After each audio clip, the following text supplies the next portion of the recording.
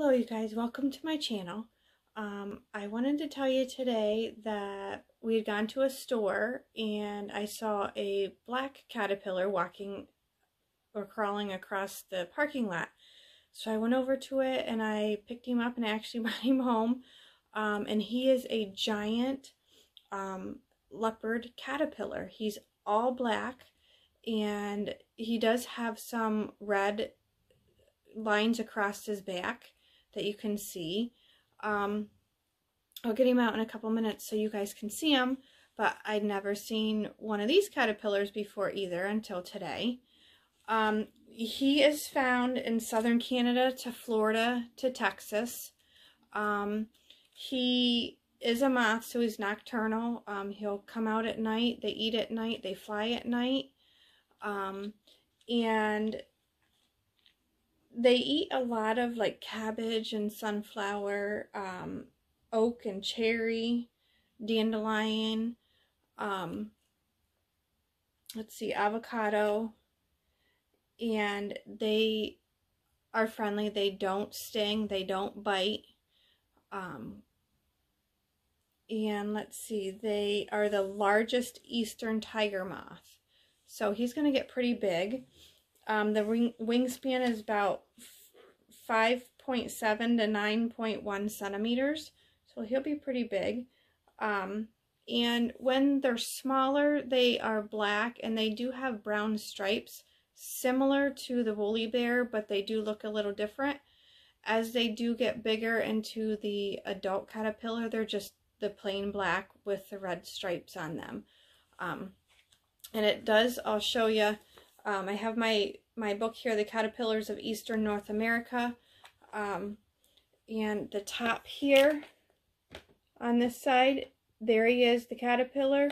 And then this is the moth he will become. He's real pretty. He's white with uh, some black spots and maybe some blue as well. Um, so I'm hoping to keep this guy over the winter as well. He will um, hibernate. He might um, decide to make a cocoon because he is an adult. He's pretty big. Um, but if not, then he will make a cocoon in the springtime. But like I said, I'm going to try and keep him. Um, hang on and let me get him out for you so you guys can see him. Here he is. I put him down here on, on our board here and he is kind of walking a little bit but you can see better how big he is.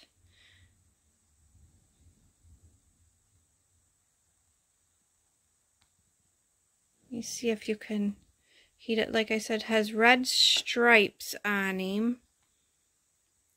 When he's really stretched out, you can see those. Know. He's moving around, but there's a little bit as he's turning. Let's see, I'm going to turn this around here. But he won't hurt you. He does look like the woolly bear with all the spikes on him. But he's harmless. He doesn't sting. He doesn't bite. I picked him right up and it didn't even bother him when I when I got him from the parking lot.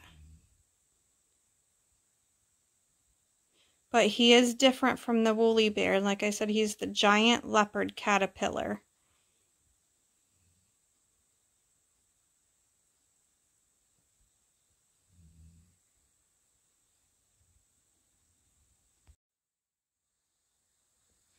Here he is crawling up my hand. Doesn't seem to be bothered by me.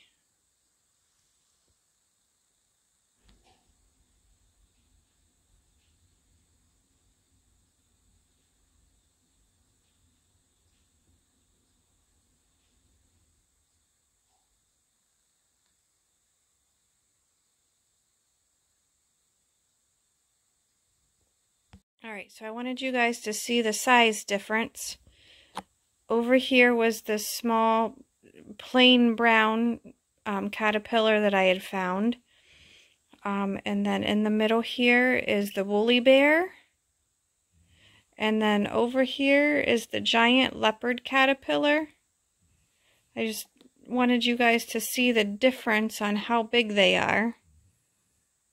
Oh, I guess he's checking the, the leopard out there. But they shouldn't hurt each other.